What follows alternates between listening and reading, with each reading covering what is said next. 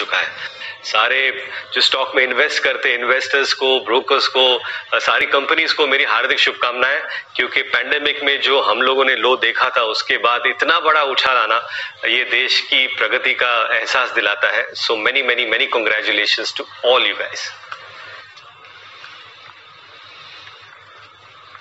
तो बिल्कुल रितेश देशमुख की तरफ़ से आ गई आपको अच्छा ये स्टॉक में पैसा लगाते हैं? अच्छा उनको फ्यूचर ऑप्शन सब पता है। अच्छा। हाँ हाँ। था उनका एक विशेष जिनेलिया और रितेश देशमुख का जो आप देख भी पाएँगे। पहले बता भी दूँ उसके बाद में मैं आपको बताता हूँ। बेसिकली अरे जी मैं भी स्टूडियो में था आज। दो सुपरस्टार एक साथ नहीं बड़ा सेलिब्रिटी कौन है? ईगो ईगो क्लेश शाहरुख सलमान कहाँ आप और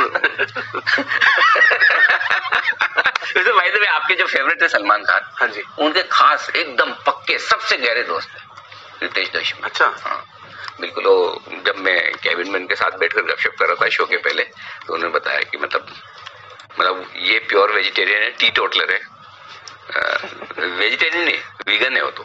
रितेश अच्छा। देशमुख हाँ हाँ वीगन हो गए हो चुके हैं। वेजिटेरियन तो है ही। और टी टोटलर भी है मतलब बचपन से एक और सलमान खान उसके बिल्कुल ऑपोजिट आप ही की तरह लेकिन फिर भी दोस्ती गहरी है जैसे मेरी आप मैं भी बिल्कुल टी टोटलर वीगन नहीं हूँ वेजिटेरियन हूँ बस हाँ मैं इमेजिन मीट्स ठीक है? ये कंपनी वेगन मीट बेचेगी। सोचिए। और ये यानी कि प्लांट बेस्ड होगा।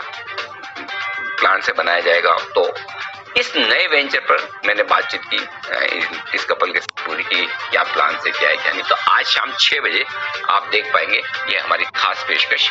ज़रूर कीजिएगा, मिस मत